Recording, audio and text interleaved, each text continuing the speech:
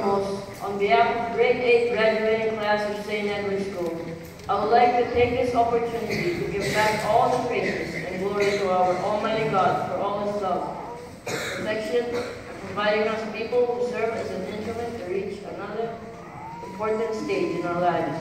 To start with, our beloved principal, Mrs. Crabby, our vice principal, Ms. Flagger, office coordinator, Ms. Biker, our hardworking teachers, members of administration and support staff, our dear parents, family, friends, and fellow graduates. A pleasant and blessed evening, ladies. Tonight, as we hear the sound of triumph, I would like to remind each one of you that you are part of this journey. You are the instrument of the beginning of our future. And with that being said, thank you for all your support and for believing in our abilities and capabilities. My fellow graduates, as we bid farewell to elementary school, we shouldn't forget those people who guided us in our chase for proficiency and the best for our own future. Indeed, we owe a lot of gratitude. No amount of words can fully express how much we appreciate what they have done for us. Elementary education is just one step to the ladder of success. We have more perseverance, challenges, and hard work to do to achieve our dreams. What is important for now, we were on the right path, and we are about to begin another chapter of our journey. Fellow graduates, congratulations, and most especially to our mentor, mentors for successfully guiding us to achieve this point. Let us give a round of applause for ourselves and our mentors.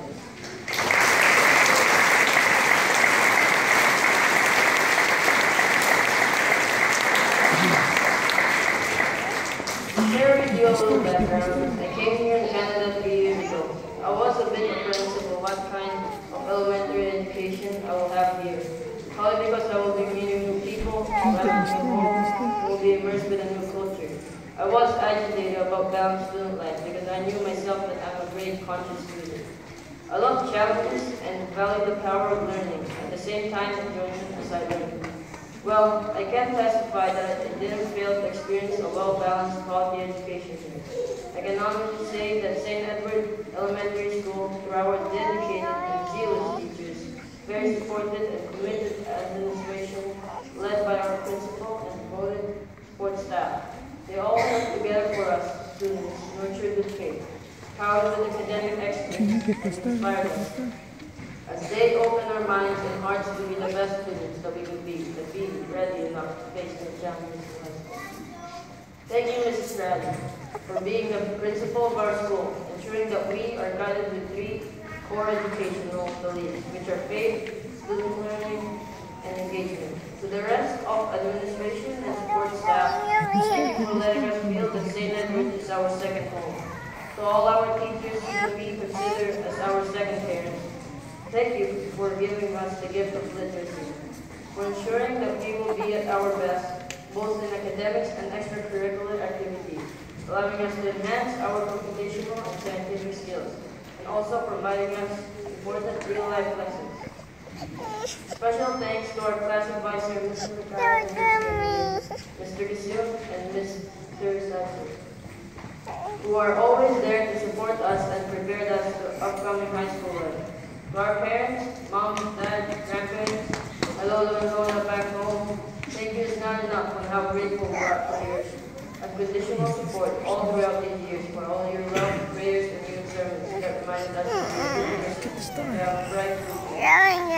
To our entire family and friends who walked along with us through ups and downs, thank you so much for supporting us side by side.